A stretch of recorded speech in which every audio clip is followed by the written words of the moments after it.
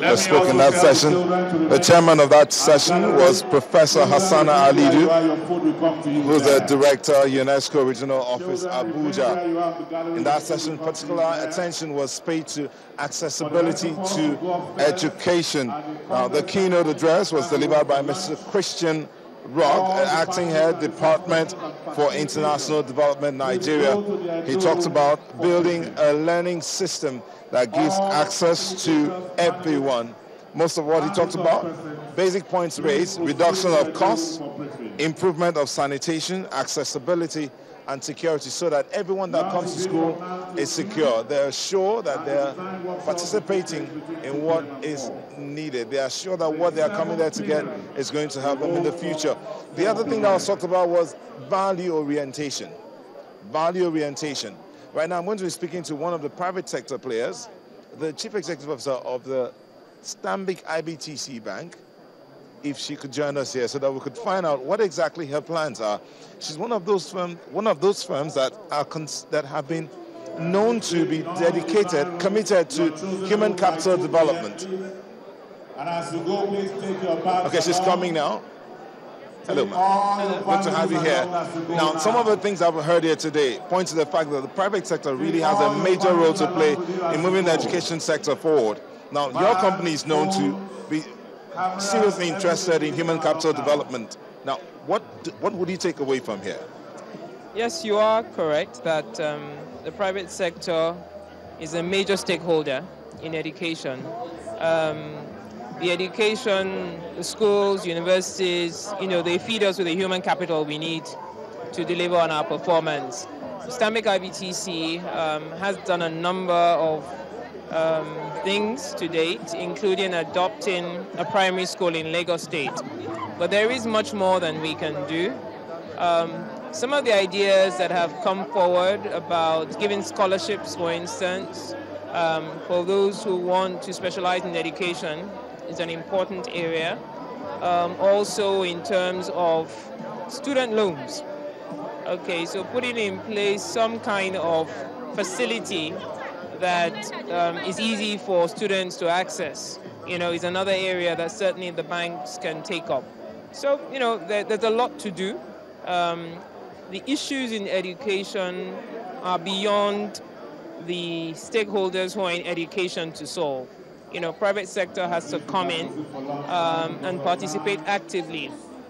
The other thing the private sector can come through is actually investments. And we've seen a couple of private equity firms who have already invested in, um, in education. I am aware that Actis, for instance, have invested um, over $200 million you know, in universities in Brazil, in China, and certainly something that um, we can get private equity firms to also um, do in Nigeria.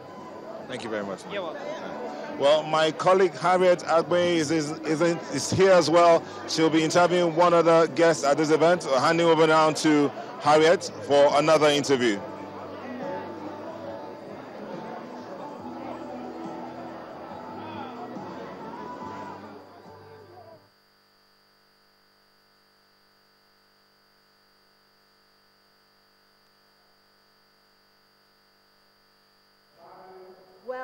So much, uh, Nyota. As you know, this session has just ended, the fifth, the sixth plenary session has just ended. And joining me now in the studio is the chairman, Senate Committee on Education, Senator Uche Chukwumerije. Thank you so much, Senator, for speaking with us Thank this you. afternoon. Now, this session has been on for the last couple of hours, and for most of yesterday and even today, what we noticed is that everybody keeps saying that uh, the policies are good, but uh, the willpower to implement it. Now, you're the chairman of, Sen- of, the Senate Committee on Education, and um, we know that as contained in the Constitution, every Nigerian has a right to education. So, looking at what we heard most of the speakers, you know, talk about today, is enough being done to ensure that all Nigerians actually have this education? And after this summit, are we going to see all those policies that that um, have come out as regards education being implemented? Well, the first question is quite a tall order. The government of the day is doing a lot probably more than all its predecessors in terms of uh, quanti quantity, in terms of access to education, like creating 12 universities at a go. That is almost unprecedented in the world. Uh, like what you do on major, major education too. But is that really education? Because two things should worry us. One, the scope of access to education in terms of knowledge. Two, education in terms of its functionality and value. In terms of knowledge, it's neither here nor there. As you can see from uh, the quality of most of our graduates produced, in terms of functionality, it's nil. As you can see from this conference, and that's really what prompted the Nigerian economic community to go to this conference in the first instance, there is a new functionality with regard to our education. There is complete disconnect between what is being taught in the classroom and what economy requires outside, what industry requires outside, what the private sector requires outside, what society requires outside. Mm. So, sorry, so, so, sorry to, to cut you here, Senator. So if that's the case, as much as possible, it seems that um, the technical and vocational education institutions should now begin to champion this course that we're expecting to see where we have graduates who will come out with the requisite skill to become not just um, employees but employers. That is exactly the main challenge facing us today. To get the government to try to heal this disorientation, it is not easy. One, the salary scale, the career progression is skewed very much against skill acquisition. You find somebody with BA, blah, blah, blah, in fine arts or whatever, is rated higher than someone with HND in a practical area people want. We've been fighting for this for years. But the least you can do is in terms of career progression, bring them to the same level and if we had the way, should be a bit above. Then beyond that, perhaps as a result of this, the social respect and social regard is higher for those with this kind of university education than those with skill, vocational technological education. So now it behoves on legislature, the legislature. No, it doesn't behove on us. At least to pass a bill or to ensure that the, the technical or vocational um, certificates are also um, put on the same pedestal because it seems as if there's more emphasis on people getting certificates and so a lot of people prefer to go to I wish, I wish it were something we can do with legislation. Unfortunately, we have to affect this point, this fact.